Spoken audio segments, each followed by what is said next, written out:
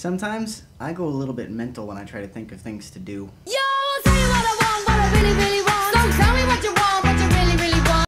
Have you guys ever been busy doing something and you just do it for so long that it gets so boring and you just can't take it anymore and you have to do something completely stupid to make up for it?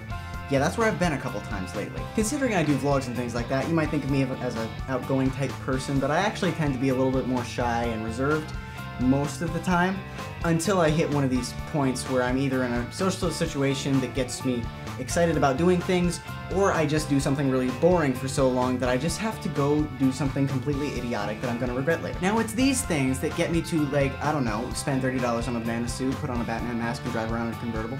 Admittedly, some of my better ideas have come from these little bursts of inspiration or stupidity depending on how you look at it. For example, I got the banana suit and a Batman mask and drove around in a convertible. That was fun. What isn't fun is when it isn't necessarily an entertaining kind of stupid. For example, the other day it was like 20 degrees out and I decided it was a good time to go for a walk.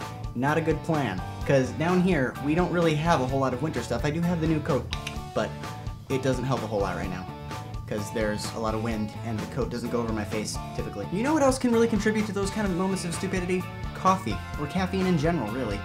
I think some of the best times I've ever had, I was jacked up on Monster and did something really dumb. And when I say being stupid, I don't mean anything that would damage property or hurt other people or anything like that. I just mean kind of acting dumb just for other people's entertainment, and usually it's something that isn't captured on video. You'd really think I would have thought of that before I started vlogging about this stuff, but apparently not, so I guess I'm too far and I'm just gonna roll with it now. Now the interesting thing about these little energy bursts is that if you do it right, you can end up channeling it into something really creative. For example, some of my more interesting bass lines have come from being really energetic and just playing around on bass until I found something that sounded good.